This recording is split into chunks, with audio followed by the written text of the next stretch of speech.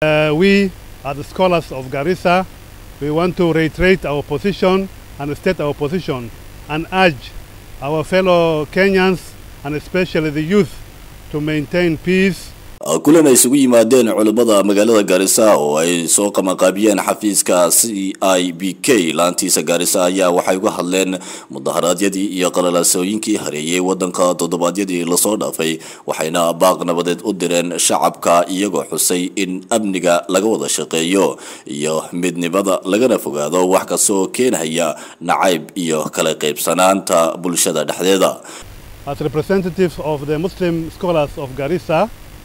we want to state our position concerning the recent happenings in Kenya. We know Kenya has been an island of peace and a beacon of hope in East and Central Africa for many decades. But the current trend and what is happening in the last few weeks has been very worrying to us. Kenya has a robust and elaborate constitution, and anybody who wants to express his ideas can express his ideas and, uh, and, his, and his views through the right channels. Uh, we, as scholars of Garissa, we want to reiterate our position and state our position and urge our fellow Kenyans and especially the youth to maintain peace and order. There is nothing that is as valuable as peace and stability.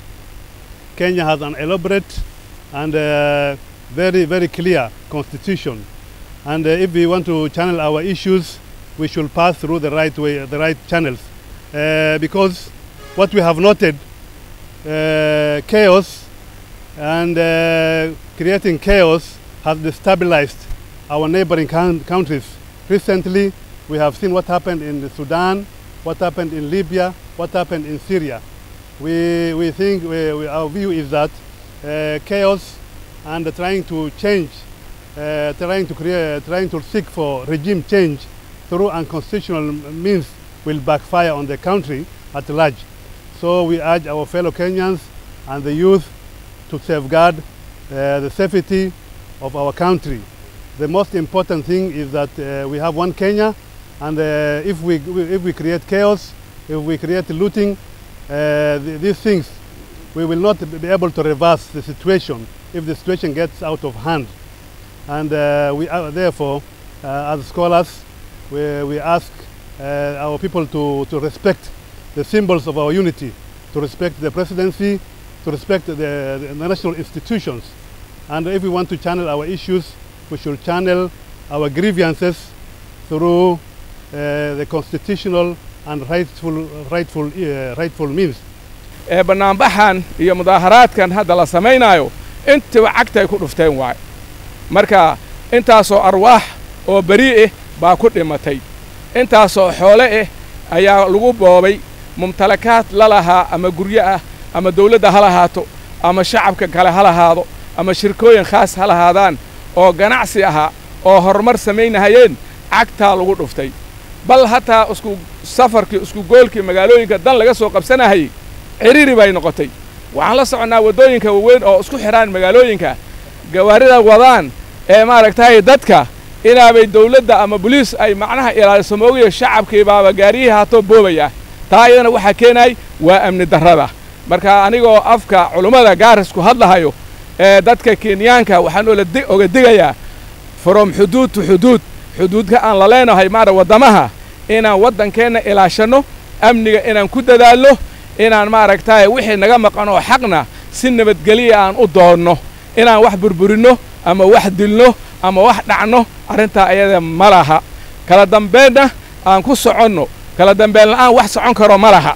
Gaariga socdo baska ah darawalko keliya wadaa shan darawal ama toban darawal ka badanna gaariga way ku jiraan.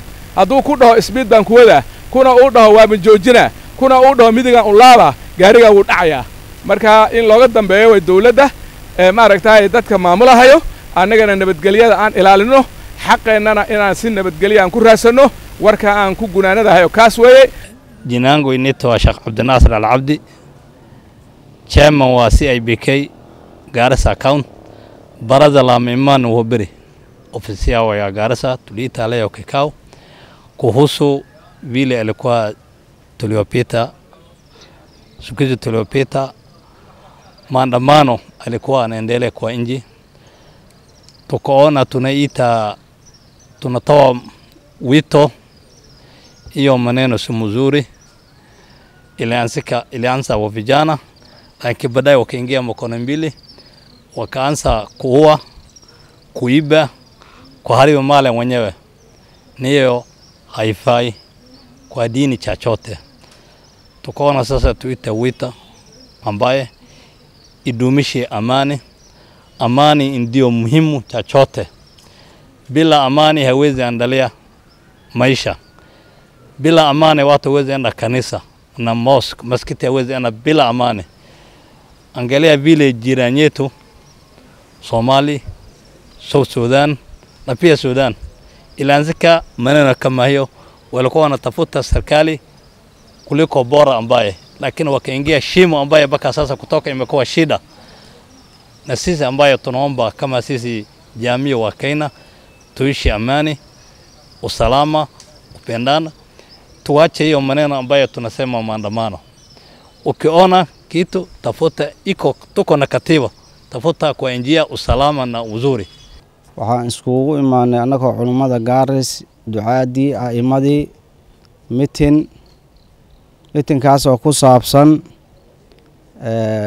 waqtiyahan dambe iyo maalmahan dambe waxaa jiray mudaharaadyo iyo qalalaasa marka waxaan rabaa anoo afka majlis majlisul a'ima wa ducaad c i b k anoo ku hadlahayo inaan dadka kenyaanka ah iyo muslimiinta kenya iyo soomaalida inaan baaq u dirno.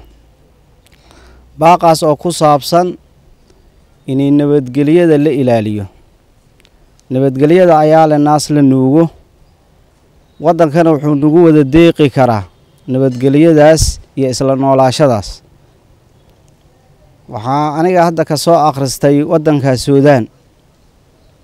Waxaan aad u warbahara oo u ooyaa markaan arko dhulkii quraxsanaa iyo sarihii iyo dadka siday u noolaayeen oo isbeddeshay markaan waxaan leenahay ha noqonina sida suudaan ha noqonina sida liibiya ha noqonina sida yeman ha noqonina sida tuunis sidan unbay ku bilaabatay mudaharaad iyo waxay ku bilaabatay arrintooda iyo amardiid ee markii dambena dowladda amardiideen markaan waxaan leenahay ha la sabro waddanka nabadgelyo nagu deeqi ha laga shaqeeyo culummada iyo madaxda iyo siyaasiyiinta dhammaantooda nabadgelyada ha ka shaqeeyaan.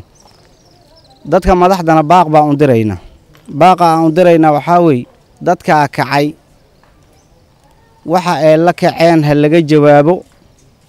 Madaxweynaha arrintaa uu ka noqtona waa uu ku mahadsan yahay. Baarlamaanka ayakana way ku mahadsan yihiin. Marka waxaan leenahay dadka soomaalida iyo muslimiinta iyo kenyaankaba waddanka aan ilaashanno amni buuna nagu deeqi. Amnigaasna aan ku wada noolaanno. Arrintaasna ha la ogaado maalmihii ugu dambeeyey ayaa waxa ay rabshado hareeyeen gudaha dalkani kenya gaar ahaan caasimada dalka iyo magaalooyinka kaleeta ee soo raaca. Dhanka baaxadda iyo shacbiyadda markay noqoto waa mombasa migori iyo qeybo kaleeto dalkani ka mid ahe madaxweynaha dalkani kenya master ruto ayaa waxa uu ka shaqeeyey sidii shacabka loo dejin laha islamarkaasina wuxuu ogolaaday inuu qaato baaqyadii ay soo jeedinhayeen dadkii ka soo horjeeday finance billkii kuwaasi oo markii dambeeto u dhalan rogtay in gebi ahaanba master ruto uu ka tago hogaaminta xukuumadda dalkani kenya. Haddaba ururka ayaa waxa ay maanta soo jeediyeen in dadku ay u hogaansamaan maadaama dowladdii ay u tanaasushay iyaguna ay nabadgelyada ilaaliyaan